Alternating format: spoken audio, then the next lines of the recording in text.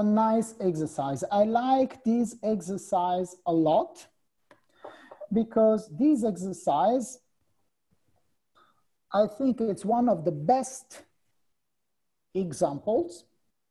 Obviously, you can think of different versions of the exercise. Instead of girl, you can say boy, or instead of speaking about children, you can speak about wherever you want.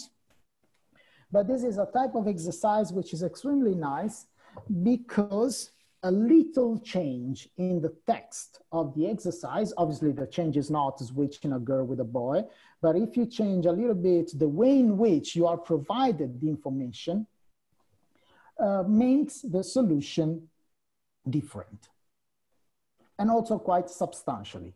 And is also one of those examples in which probability shows itself as a fascinating field because sometimes it can be counterintuitive. Okay, so sometimes uh, probability can have this, uh, this fact that the solution you obtain by applying the probabilistic reasoning is not the first solution you would reach just by um, relying on intuition.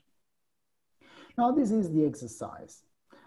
Uh, I tell you that I have two children, okay? And I also tell you that one of my children is a girl. Now, my question is, what is the probability that I have two girls? So you know that I have two children, and I tell you that one of the children is a girl. Now my question is, what is the probability that also the other essentially is a girl such that I have two girls? We also provide some additional information to simplify the computation. So we assume that um, the probability that if you have a kid, if you have a child, uh, he or she is a boy or a girl is essentially the same. So the probability of um, of birth of a boy or a girl is the same.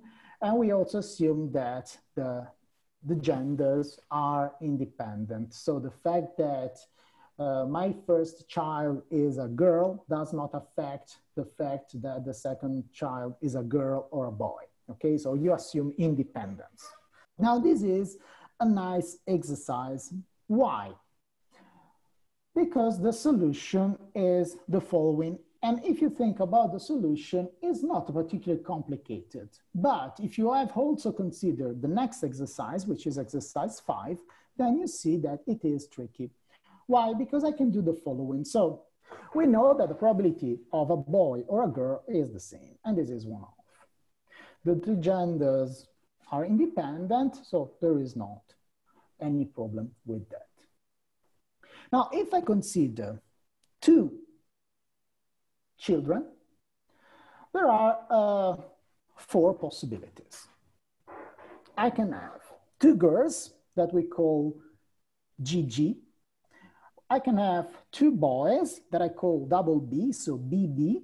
I can have a girl and a boy, so GB, and I can have a boy and a girl, so BG. But if I tell you that one of my kids is a girl, obviously I can immediately exclude BB, so the double B, because if I tell you that one is a girl, I cannot have two boys. You know that the total number of children I have is two, and one is a girl.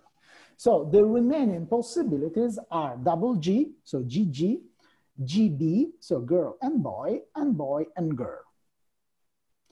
So what happens? The probability of having two girls given that I told you that I have uh, a girl already, is one over three. Because I have just three possibilities that are double G, BG, and GB. And one of these possibilities is the only one I'm interested in, which is double G. So one over three. So the probability in that case is one third. The probability that I will have uh, couple of daughters, so two, two girls as children, is one third. because the information I give you about the fact that one of the ladies is a girl immediately rules out the possibility of having two boys. Now, this exercise is interesting because I can change it a little bit, which is exercise five. The first part is essentially the same. You know that I have two children and that one of them is a girl. I invite you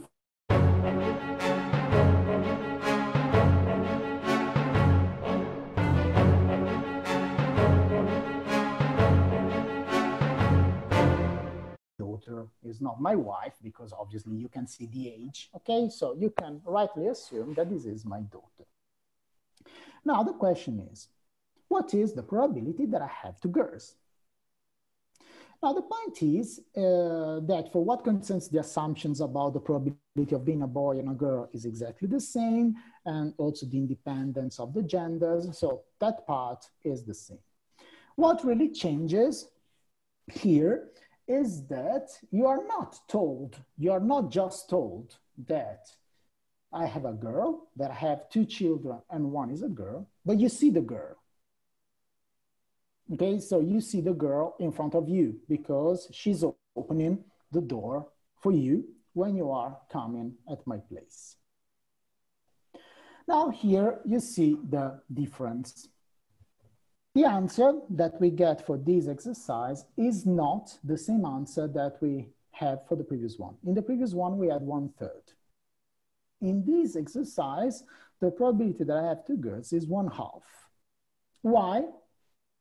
Because in the very moment in which you see the girl in front of you, you are blocking that position.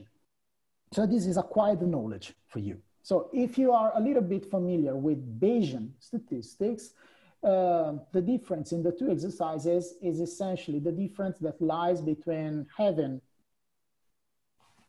just a priori knowledge and having a priori knowledge that is updated by observing a phenomenon.